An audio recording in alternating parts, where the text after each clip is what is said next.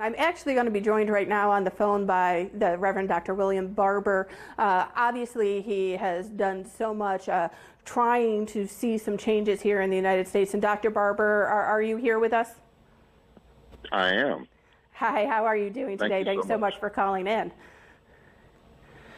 I, well, you know, this is an incredible day in the Poor People's Campaign. We tier text and, and contacted over 2.3 million poor and low wealth voters to get involved and to vote for an agenda of uplift. We have a historic, not only in a white man and a black woman with um, Indian descent being elected uh, to the presidency and vice presidency, but they ran openly talking about raising the minimum wage to $15 an hour in the union, which would impact 49 million poor and low wealth people of every race, creed, and color.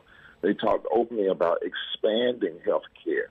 They talked openly about dealing with institutional racism and systemic racism from voter uh, uh, suppression to to um, injustices in police brutality and, and among immigrant people and brown people. I mean, you think about that, and they won everywhere in the West, in the in the in the middle part of the country, in the Northeast, and in the South.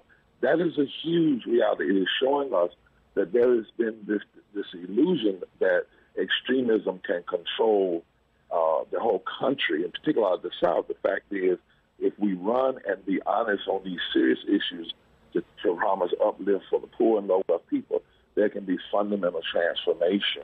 And that is something I hope that people don't miss. You know, um, there's a hymn in the church that says, uh, uh, plant my feet on higher ground we've been in a situation where we've had a presidency that was hostile to uh, love uh, uh, uh and more concerned about hate. It was hostile to meanness uh, and less concerned about mercy. It literally was hostile to uh, justice and more concerned about injustice. We have a chance now to turn that.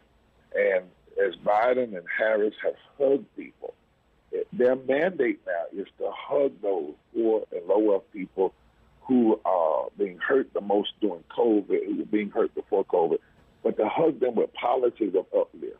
And if those policies lift up poor and low wealth people, regardless of their color, their creed, their sexuality, the millions of them right here in North Carolina, that will in fact heal the nation. The healing of the nation will be, come through the healing of the body, and the healing of the body of America is going to come by saying to the 140 million poor and low wealth people, you no longer will be excluded from the decisions in this country.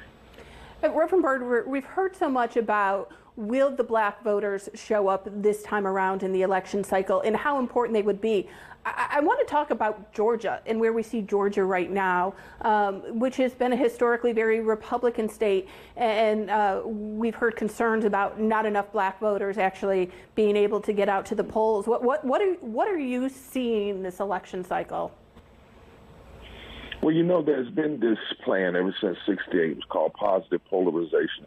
Buchanan, Kevin Phillips, and Nixon put it in place to deliberately divide the country for political expediency, to exploit the division, and to do it along the issues of race. And we've seen it operate for some 52 years now. People like my good friend Stacey Abrams, people here in North Carolina with the Moral Monday movement, the Forward Together movement, we said that doesn't have to be. And so we've organized for years to bring poor and low and, and uh, poor, um, black people and white people together around the agenda. What remember now? What we see in Georgia is two is, is, a, is a two phenomena. We see uh, this higher turnout of the African American vote, but we also are seeing a turnout of the progressive white vote. Mm-hmm. These states from Maryland, North Carolina, Georgia, Florida, Texas, historically have been low voter turnout states with high voter suppression what what's what's breaking through now is that the turnout is higher, the volume is higher, and you're seeing the fusion alliances of black people and progressive white people and Latinos coming together uh, to change the dynamic of the electorate. And this is just the front end of it. This is just the front end of it. Because even though we will say we probably will have 75% of eligible uh, voters to uh, have voted this time, that still doesn't lift up the number of people who could have been registered. When the southern states vote their full strength and we back, we push back voter suppression, you're going to see a fundamental shift all over this country. And I think literally it's, it's starting now. It started in North Carolina in 2008 with President Obama. Uh, it's, it's in North Carolina now when you've seen, even though Trump may win North Carolina, we don't know yet. But look at what's happening at the lower ticket, the governor, and so forth and so on. I think in the next two years, you're going to see massive shifts in states that were, were, were deemed Republican or red states. But they really are not red states as much as they were low voter turnout states, high voter suppression states. Uh, we're, we're going to break through the solid South. The solid South and its illusions is just about over, and you're going to see fundamental change all across the South. And Georgia, what you've seen in Georgia, what you've seen in North Carolina, are just the front end and the tip of what's going to be happening. And just finally, I wanted to ask you about this. Listen, we've seen so much division in our country, and it's really been playing out uh, this year. We, have seen the calls for social justice, we've seen the calls for racial equality, but then we watch this election cycle, and as these results are coming in, we see exactly how divided our nation is, how, how split votes have been, uh, um, how different of an opinion folks have about the direction that our country should go in. So, for President uh, uh, elect Biden and for Kamala Harris, what do you see as their mission as far as moving this country forward? Mm-hmm. Well, you know, yes, Donald Trump has exploited the divisions. He did not create them.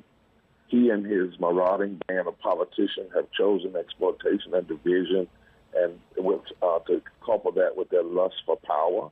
Uh, they have been brutal and mean. Uh, it's not just been Trump, from McConnell all the way through. I mean, they've embraced that. Thom Tillis embraced it. Uh, embraced it. Our own state legislature embraced it. But the first healing is when the people speak.